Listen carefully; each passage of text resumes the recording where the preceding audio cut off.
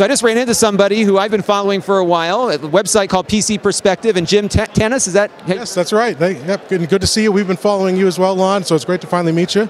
This is one of the things I love coming about com- about coming to the show is I get to meet people that I follow, and it's great to see that we have mutual respect for our work, and I greatly appreciate that. So, nice. same here, same here. So, what do you think about CES? I, I feel like it's incrementalism. Does that sound about right? It is. I mean, there's some areas that, at least in the, in the areas we cover with this PC hardware, where they've made some big leaps. And HDR monitors is really what I'm excited about. We've had them for a while. We've had ultra wides. We've had 4K. We've had high refresh rate. We haven't had them all together in one.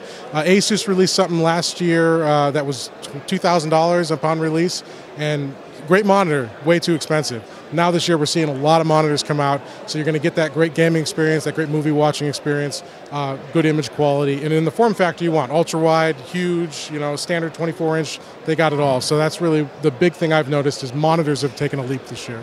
About general PC hardware? Is there a lot of cool stuff that you saw here, or stuff that's already been announced? Um, I mean, well, you know, Nvidia had their their 2000 or their 2060 release. You know, they had the, the Turing come out uh, end of last year, and the 2060 launched just this week. Uh, so that's exciting because that's uh, when the RTX series came out, they were really high priced. They set a new kind of new bar for pricing in the wrong direction.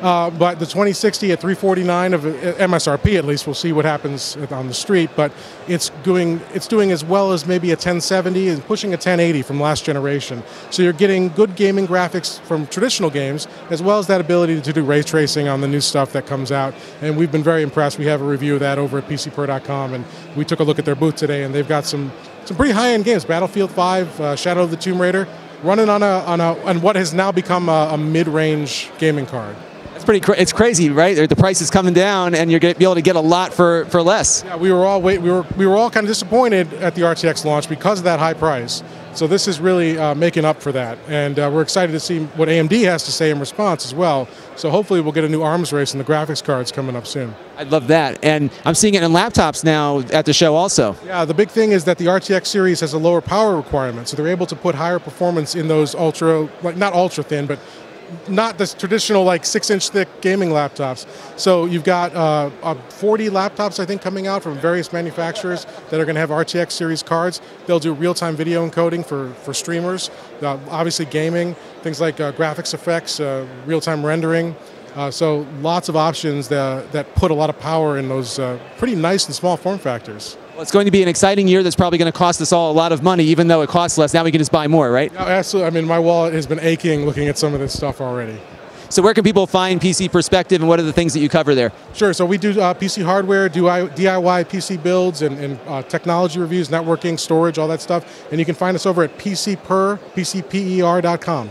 Well, great, Jim. Thank you very much, and thanks for coming up and saying hi. And uh, we look forward to working with you maybe throughout the year. That'd be great. It's great to meet you, Lon. Cool. This channel is brought to you by the Lon.TV supporters, including gold level supporters Chris Allegretta, the Four Guys with Quarters podcast, Tom Albrecht, and Kalyan Kumar.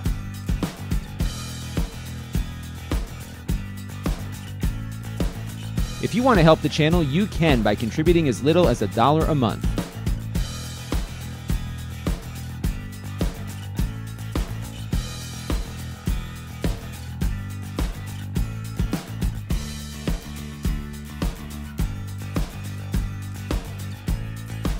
Head over to lon.tv slash support to learn more.